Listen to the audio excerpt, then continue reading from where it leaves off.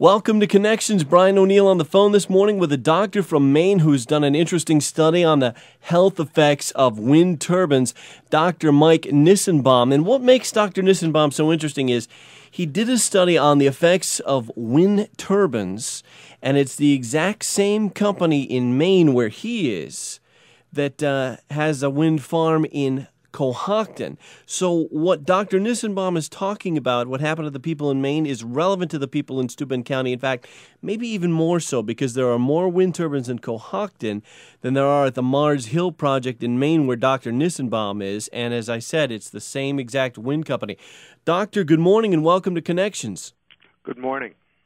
Dr. Nissenbaum, here's the deal. I'm a reporter, and the other day I was covering a town hall meeting, and a woman at the meeting complained that people were getting migraine headaches in Cohocton since the wind turbines went up there. And after that, I checked with two Cohocton residents, and they told me that their wives are getting headaches in Cohocton. One of them is actually a wind farmer. So, Dr. Nissenbaum, does that surprise you that people are complaining about migraine headaches because of wind turbines?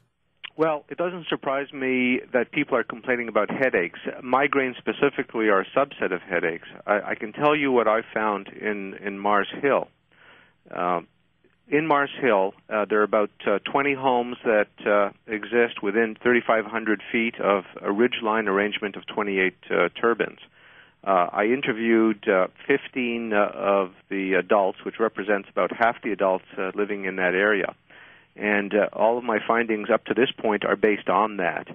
Uh, I can tell you that uh, of those, uh, headaches, uh, increased uh, headaches occurred in eight out of those 15, which is just over 50 percent.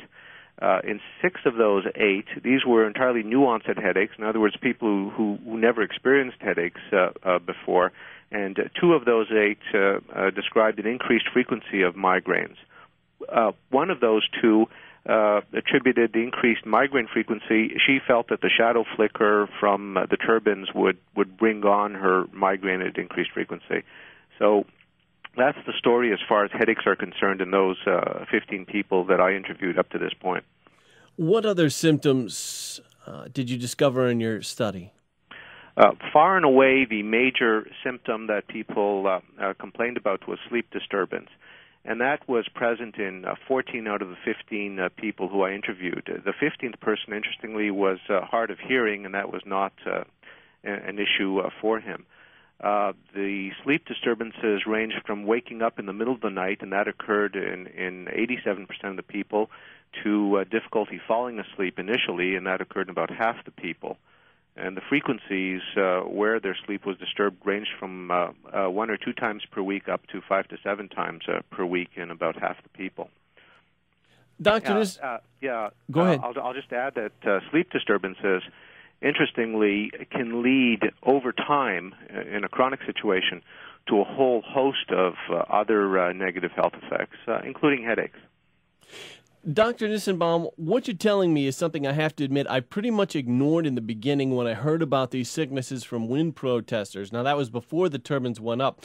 The reason being, I was so focused on the corruption stories related to wind. You know, I was up to hearing stories about politicians that had conflicts of interest, and I just didn't have time to do any work on wind turbine syndrome stories. But now that the wind turbines are here in Steuben County, the stuff that I'm hearing from wind turbines about wind turbines cause, uh, from wind protesters about uh, wind turbines causing medical problems. You know, it, it, all seems to be coming true right here in Steuben County. Now, doctor, according to your study, more people who live near wind turbines are turning to prescription drugs because of the symptoms that they're getting from wind turbines. Is is that right?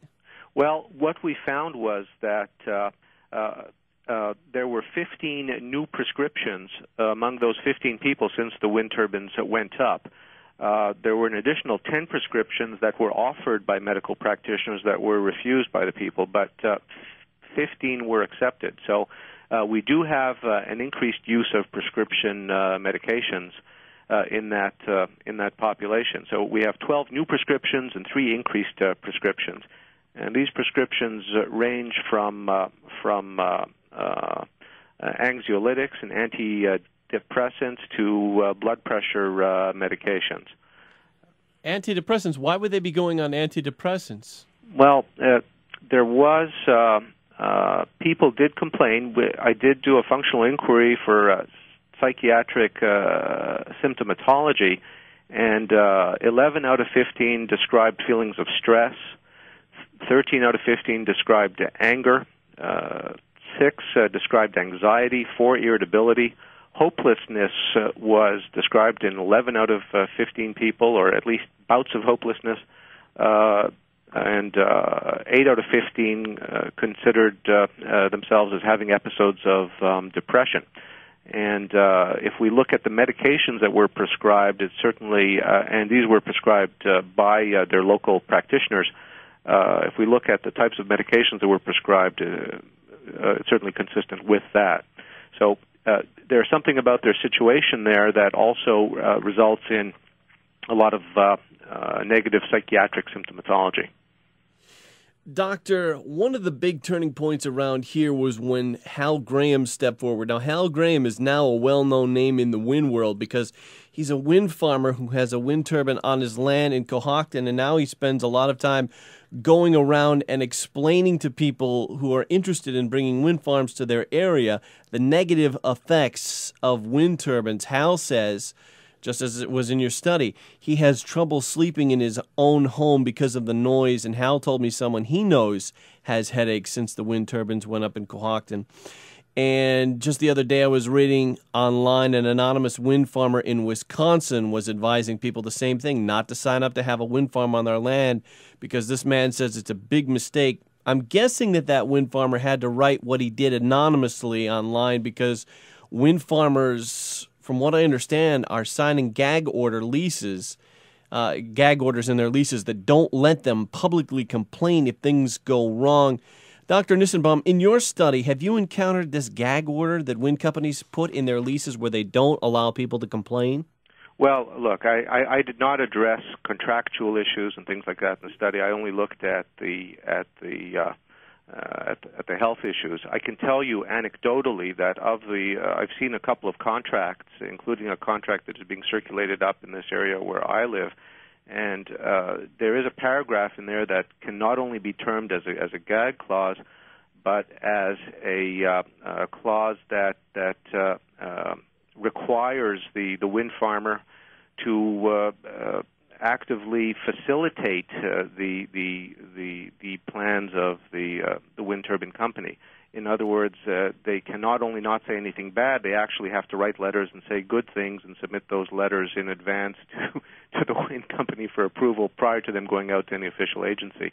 And that's there in black and white in the uh, in the local contract that's being circulated. Wow, that's a new one on me. But, but that was not a subject. This is just something anecdotal that I'm telling you. This is this was this was in no in no way part of uh, my health survey. Sure, sure. You want to stick to the health effects. I understand. We're talking with Dr. Mike Nissenbaum on Connections here on AM 1480 WLEA. And in just a moment, we'll continue our conversation about the negative medical effects of wind energy. It's coming up here on AM 1480 WLEA.